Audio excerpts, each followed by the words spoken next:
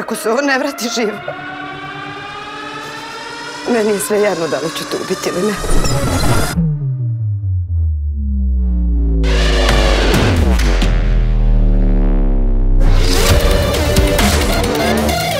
Brate, da im damo po 20 vrića da iskinemo s kurca, a? Nenad ti je izgleda upao u neki problem. Budeš diler, bre. Mafijaš, a?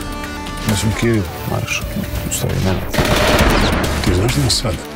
Mi ne postojimo, mi smo duhovi.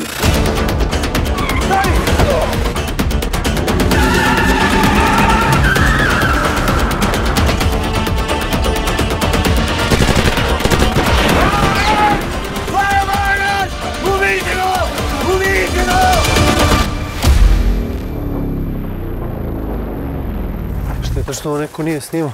Kad budem priču, niko mi neće verovati.